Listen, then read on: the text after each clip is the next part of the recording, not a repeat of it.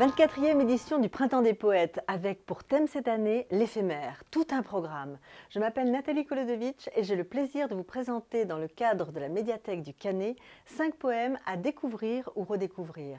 Vive la poésie, vivre chaque instant, éphémère.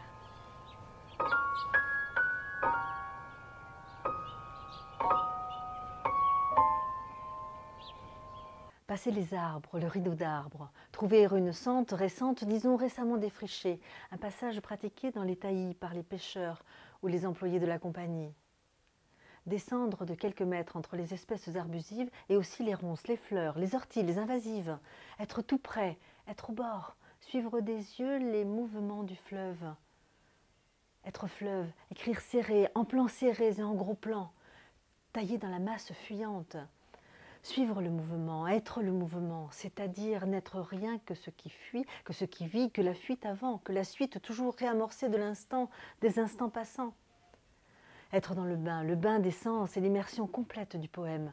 Fixer la surface bleu-vert piquée d'écume minuscule, la surface, l'effet de surface.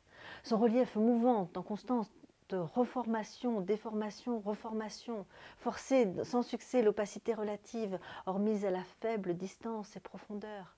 Être fleuve, c'est-à-dire à cet instant, en cet endroit, irisation, stries éphémères, irritations et bulles passagères, éclosions contiguës et continues de métamorphoses aussitôt absorbées, disparues, évanescentes relief lié, délié, dévié, en permanente recomposition, être fleuve, ondoiement, vaguelettes multiples, multiples facettes qui s'effacent, s'entrechoquent, disparaissent au fur et à mesure que d'autres apparaissent, s'effacent et réapparaissent, s'effacent et réapparaissent constamment, continuellement, dans l'agitation sans fin du flux qui va, va de l'avant, va, plein d'allant, du flux et la pente passante et tremblotante et chuchoteuse et murmurante. Car tout cela, n'est pas seulement frais, cinétique et visuel, mais aussi sonore et sensoriel.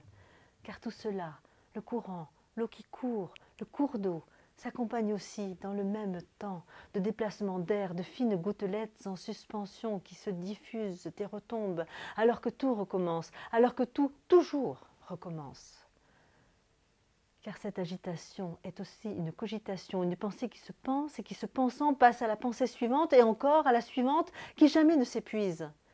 Car un fleuve est un flux comme son nom l'édicte, le dévide, le distille, un flux ininterrompu d'eau et de sensation de l'eau, et de trémulation de l'eau dans l'eau, et de perpétuation de l'eau par l'eau, l'indéfini du flux infini. Car un fleuve est un flux qui se dissout dans le flux et dans le mot fleuve, et dans le Rhône et dans son nom.